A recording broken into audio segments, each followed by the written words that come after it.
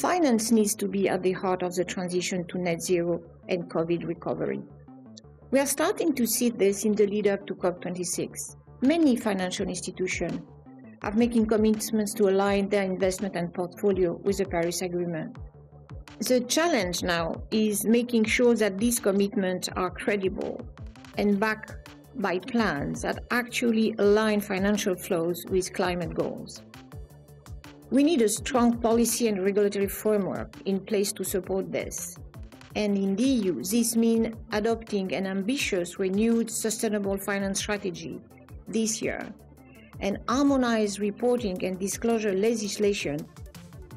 Governments need to ensure that investments support job growth and the green transition while phasing out harmful subsidies to polluting industry.